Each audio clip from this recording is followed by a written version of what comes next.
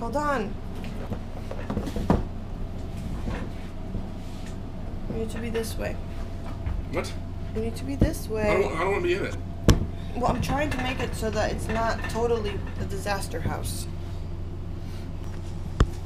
At work. tripod. Tripods at work. Are you serious? Mm-hmm. Let's go. All right. Wait, hold on, hold on. We are unboxing the Mavic Pro. Something I've been waiting for for quite some time. I think I've watched over 100 YouTube videos of this damn thing. I cannot wait to finally open it. You have a knife or something I can borrow? Should have prepared before I started this video. But the official unboxing of the Mavic Pro. Don't be jealous. Probably the most expensive toy I've ever bought. Hopefully I edit this out so I can go straight to the opening part.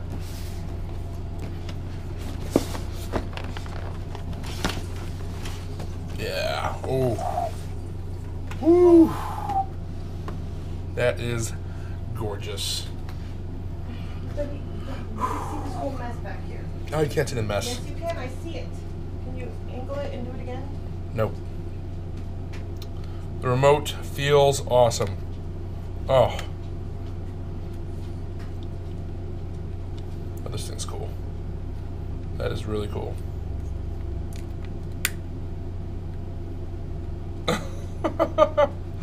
That's cool, man.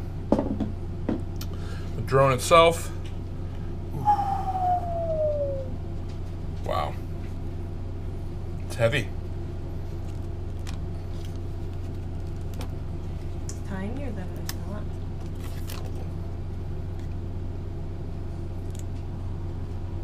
Even touch this thing. It's so nice and brand new. I don't even want to break it.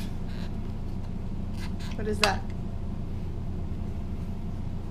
That's cool. Plastic cover. You got the gimbal support deal in there. I wonder if this thing comes off of here. I like Yeah. that. I think it's supposed to stay on. The camera doesn't fly without that thing. I think it does. I think you're supposed to take it off. No. All sorts of goodies in here. Look at our phone cords, power cords.